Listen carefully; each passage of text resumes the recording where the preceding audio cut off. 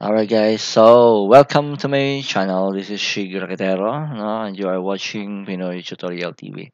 And for today's lesson, um, start and shut down the computer system. So, paano nga ba mga friendship natin, no? Sa mga first time, paano nga ba ito i-start, i-open, or paano patayin? Okay? So, start a computer system. Uh, Pinoy Tutorial TV by Shig Raketero. So, number one, ang pinaka-simple ay all you need to do is press the computer's power button if the monitor is not turned on.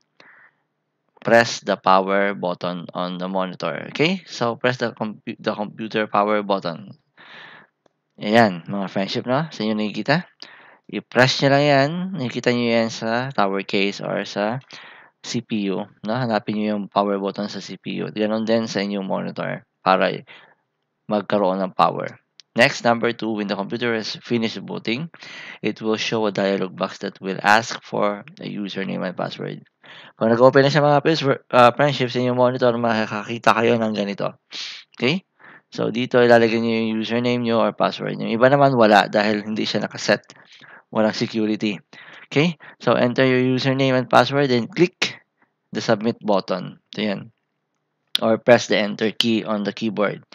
Okay, so yan mga friendship no, dito. Um, yan, sulat nyo yung username nyo dyan. Dito naman ang password sa may check at i-click ito para sa enter or i-click, i-point yung mouse pointer then click. Okay, next. To, sh to shut down a computer system Windows 10, hanapin nyo lang yung power button. Ito yung power button or punta kayo sa start and then shut down uh, icon. Okay, so method 1, number 1, click the start icon at the bottom left corner. Ito yung start icon mga friends, ba? Ito. Kita nyo? Ayan. Ayan yung start icon. At the bottom of the left corner, then click the power. Ito yung power niya. Icon on the main menu. Then click shutdown. Okay?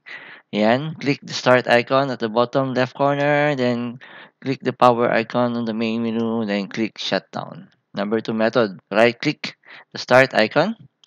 Okay. And then click or hover over shutdown or sign out. Ayan. And click shutdown. Yan mga friendship, na. Ito, sa inyo nakikita. Okay. Mag-right-click kayo sa inyong, example dyan, uh, dun sa desktop. Then lalabas ito, hanapin yung shutdown and then sign out or shutdown. Okay. Yun lang mga friendship, no. So right-click the start icon, click the hover, and then shut down. Okay? Yun. So log off or sign out a computer. So, meron tayong method 1. Press Ctrl Alt Delete keys at the same time. Click sign out. Yun yung method 1. So, you can use your keyboard. Number 2. Number 3 pala. Right-click the start icon and then click or hover the over shutdown or sign out Number three, click sign out, click sign out or click restart to reboot the computer. Yung mga friendship na, i-right click nila yung start icon. Then, click or hover over shutdown or sign out and then click sign out or click start, restart to reboot the computer na. Method 2, click the start icon, click the user profile icon, then click the sign out. Na? Yun. So, ganun lang kadali mga friendship mag power on at power off ng inyong mga computer. Okay? So please don't forget to subscribe and don't forget to hit like and share and don't forget to click the bell button for more uh, videos, no? notification. And then stay safe and God bless everyone.